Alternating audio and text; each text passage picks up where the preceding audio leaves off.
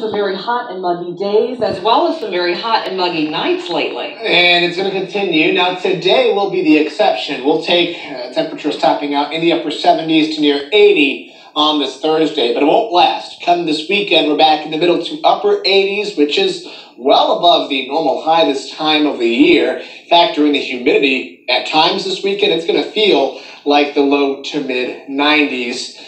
We'll talk about that more coming up in the five day in just a bit. Outside right now in Beavercreek, things are quiet. You can see just a few cars on the roads. Aside from that, uh, traffic is quiet. Temperatures are not going to be nearly as hot over the coming hours as they will over the coming days. But this morning, it is still mild. 68 degrees right now. Dew points are very close. That means it is humid to start this Thursday. A couple of 71s right now in Xenia and in Wilmington, 66 in Bellefontaine, 67 to start the day here in Sidney. We are dry on live Doppler 7 radar, just some false ground clutter being picked up by the radar. As we head throughout the coming days, the chance for rain will be reintroduced into the, forecast. As for today, it's likely going to stay just to our south. You can see some of that rain moving through parts of Kentucky, moving to the northeast. So with that being said, I'm not going to rule out some stray sprinkles in, say, Warren, Clinton, maybe Greene counties, but I think most of us will stay dry today. It's really this weekend that we have a better chance to see a few pop-up showers. Futurecast is going to try to give way to a stray shower or two today, but I think for most of us, it's really just going to be the cloud cover that stays with us as we head throughout the day today. Second half of today, we'll see decrease in clouds that will lead to what should be a quiet night. But notice as we stop the clock here at 5:30 a.m., this is tomorrow morning about this time. See quite a bit of fog developing on the model here with light winds and the air being saturated. I think that there's a decent chance that we'll see some fog.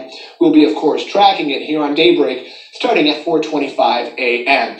Let's recap the forecast for today. Upper 70s. If you see more sunshine than others, you may top out in the lower 80s. Not going to be as hot, but still somewhat muggy out there. And the trend throughout the day, mostly cloudy skies, becoming partly cloudy. We'll see more clearing overnight tonight. Could see some fog as temperatures drop back into the lower 60s. Again, light winds, the air is saturated, so a decent chance that we'll see some fog. Tomorrow, kind of a summer like day out there. Mid 80s, partly cloudy, hot once again. The chance for rain does return as we head into the weekend. Saturday, Sunday, even parts of Monday, there is that slight chance for a stray shower, maybe a few thunderstorms. The chances aren't all that great, but I'm not going to rule it out each of those days. The big story those days is the heat. Middle to upper 80s for highs. When you factor in the humidity, it's going to feel more like the low to mid 90s. Weather and traffic every 10 minutes. Let's get a check on your commute this Thursday morning.